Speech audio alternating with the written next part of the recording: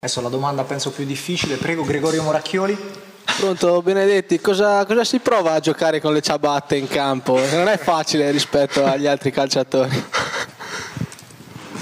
Ma in infradito la, il livello di difficoltà ancora è maggiore, quindi vuol dire che c'è un, un certo tipo di qualità, però mi trovo bene e ti sto facendo vivere un sogno sulla fascia, dentro e fuori dal campo.